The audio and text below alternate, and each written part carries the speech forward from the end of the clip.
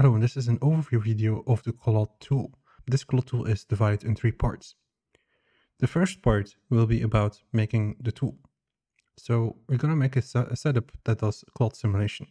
If you would be new or a beginner to cloth and Vellum in Houdini, this might be a great start uh, to learn more about it. We're going to create a base plane and then we're going to plug it into a simulation to fall on a collision. So once that is done and we have a simulation we're happy with, we're going to go to the next part. And the next part is making the actual digital asset. So here we're going to collapse all our logic into one single tool. We will be also creating multiple inputs for our tool and also creating a few parameters here and there. It's up to you if you want to expand more parameters or create more things in this tool. The tool itself will do a few basic things to have a nice cloth simulation. And of course, the last part will be then bringing this into Game Engine.